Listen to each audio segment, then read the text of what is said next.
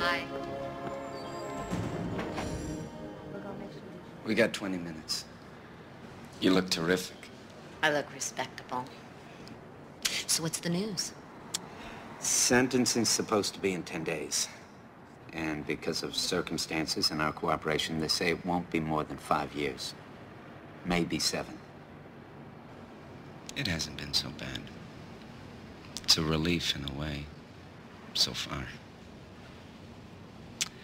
I've been writing and reading. I love your letters. Good. I didn't know that you could write like that.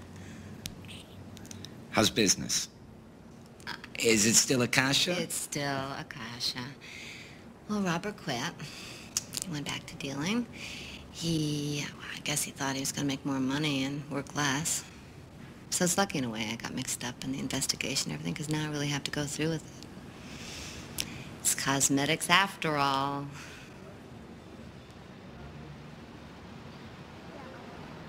Did we ever fuck? What? You know, make love.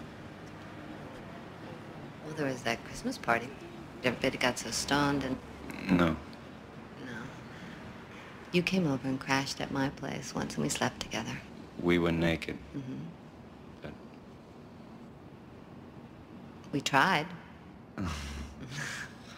I was thinking about it and I realized we never really did. It's one of the things I think about. One of the things I look forward to. I've been looking forward. Me too.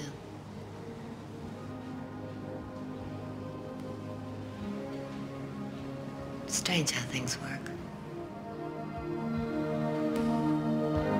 All our eyes have seen, all our arms embrace, all that lives and breathes, each beloved face, standing at the door, the book is open wide, now I seal my fate, now I step inside.